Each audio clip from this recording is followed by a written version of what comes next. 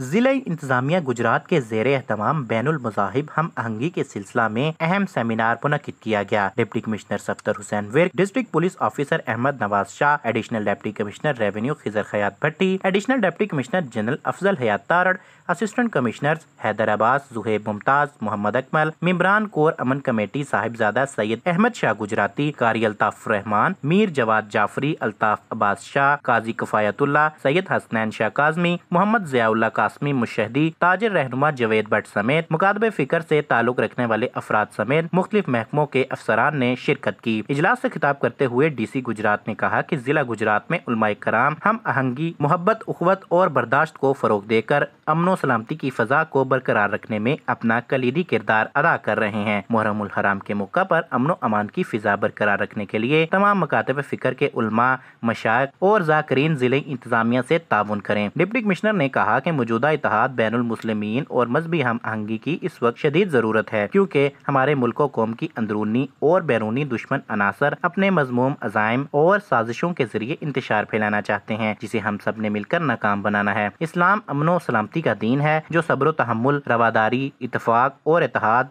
भाईचारे का भी दर्ज देता है। यही जज्बा मुहरम हराम के दौरान बरोकार लाए जाने की ज़रूरत है। डी सी ने मजीद कहा की जिला में अमनो अमान बरकरार रखने के हवाले ऐसी जिलाई अमनो कमेटी के मुआजिज अरकान के मिसाली ताउन मुशावरत को सराहा। डिप्यू गुजरात अहमद नवाज़ शाह ने भी मुहरम हराम के मौका पर इंतजामी अमूर समेत फुल प्रूफ सिक्योरिटी के इंतज़ाम को बेहतरीन अंदाज में रखने के लिए अरकान कमेटी की तजावजात और मुशावरत को अवलिन तरजीह दी। डी सी गुजरात ने कहा की जुलूस के रूट्स की ज़रूरत मरम्मत, सफ़ाई, सुथराई, बिजली की लटकती तारों की दुरुस्तगी को यकीनी बनाया जाएगा और तमाम तर इंतज़ाम को मुहरम हराम ऐसी कबल मुकम्मल कर लिया जाएगा। डी डीपीओ अहमद नवाज़ शाह ने कहा की जिला में अमनो, रवादारी और इतिहाद की फिजा को मजीद मुस्तकम बनाने के लिए हसबो रवायत मिसाली कोशिशें जारी रखी जाएँगी। माशरे में अमन, दोस्ती के जज्बा को फरोग देने में भरपूर मुआमनत की जाएगी ताकि जिला की पुर अमन फिजा को शर पसंदी महफूज रखा जा सके। मुहरम हराम के महीने में पुलिस, सिक्योरिटी इदारे मुख्तलिफ़ मुकादबे फ़िक्र के उलमाए कराम, अंजुमन ताजरान और दीगर स्टेक होल्डर्स की मुआवनत से जिला में अमनो अमान की सूरत हाल को बरकरार रखा जाएगा। उलमाए कराम और ताजर रहनुमाओं ने अपने अपने ख्याल का भी इजहार किया और इतिहाद बैन की अहमियत पर ज़ोर दिया